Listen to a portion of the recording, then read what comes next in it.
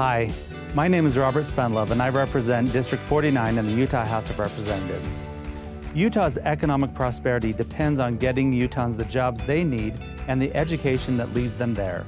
This is why I believe UtahFutures.org is a valuable resource that can help you plan your future.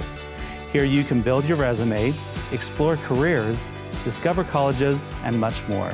Plan your path with UtahFutures.org.